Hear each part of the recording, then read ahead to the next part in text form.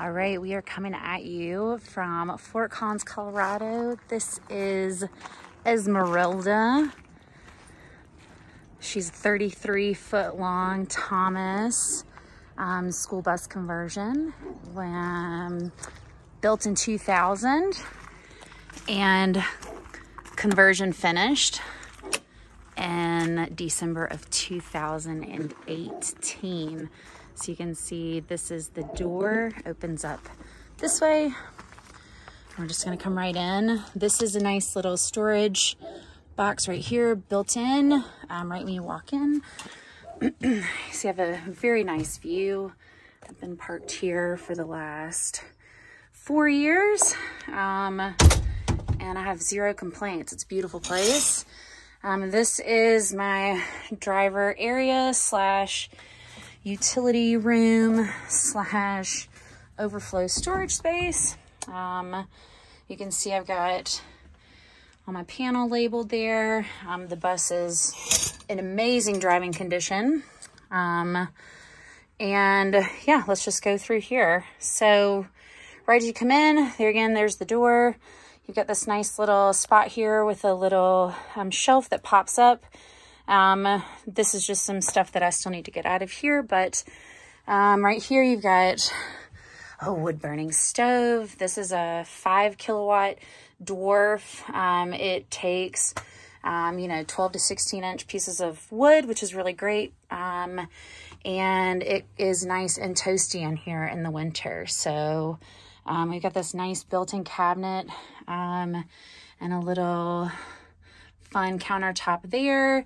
In the bathroom, got a composting toilet, um, some shelving right there. You can put in some, um, you know, these are things that are staying with the bus or otherwise I wouldn't show them to you. Um, but yeah, you got your Nature's Head composting toilet, um, separate from the shower area.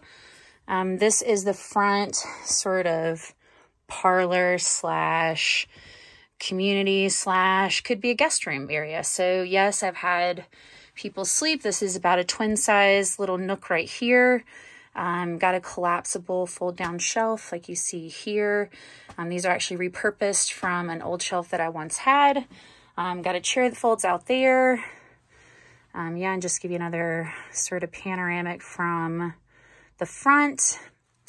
And then coming into the middle of the bus is where you have the kitchen. No, this trunk will not be here. Um, that's something that's coming with me. I'm in the process of re um, staining and re, um, you know, sealing the kitchen countertop. So that explains that mess right there. Um, you've got this nice little um, storage space here where you've got two drawers and then a little, I took the bottom drawer out to kind of make like a little um, nook down there, some butcher block top here. This is a nice big fridge with a freezer on top. um, this thing is a nice little piece. It fits right up there. Um, great place to store food.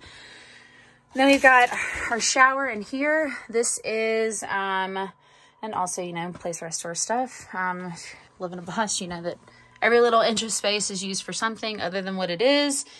Um, so yeah, so this is nice because this metal can actually be painted.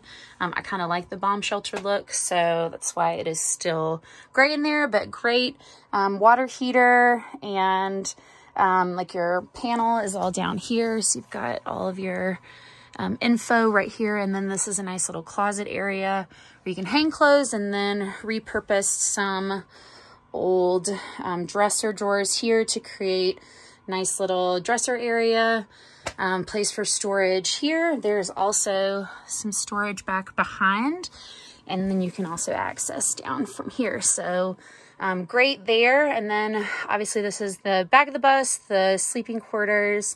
You can see the bed has been lifted.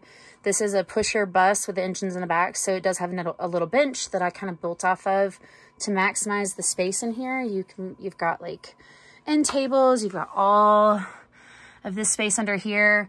Um, the idea was to eventually put some like doors, cabinet doors or something over that to kind of close that off, but that can be someone else's project.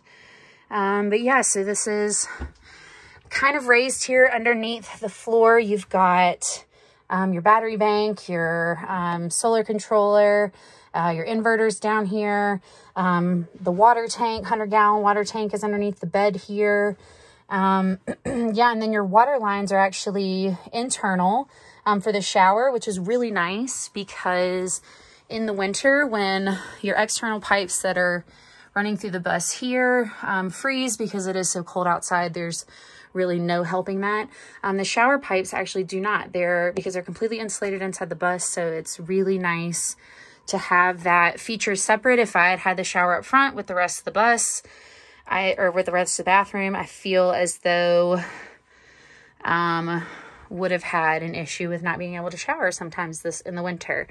Um, so yeah, it's this is Colorado. This bus is burly. It is built for cold winters. Um, I've been in the bus down to negative, you know, teens, um, and still been comfortable, um, especially given the wood burning stove um, and having the mini split in the back. I don't know if you saw that way back there, but the mini split um, is really great for creating alternate electric heat.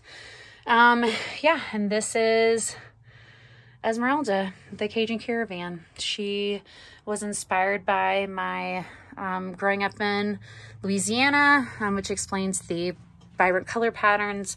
And I'm also an art teacher, so that might shed a little bit of light into why I chose the colors I did. So this is something like all the furniture that you see is something, stuff that I want to keep at the bus. So this is a seating area and there's storage. Um, this is a piece um, that has lots of storage and there is storage back behind. So if you lift up um, the couch cushion, you'll see there's a piece of wood there. This lifts up and then you've got about enough space to fit luggage back there. So I usually, that's where my luggage was, my snowboard, um, all kinds of things back there. So yeah, plenty of space to put things out of sight, out of mind. And this bus can be yours if you so desire.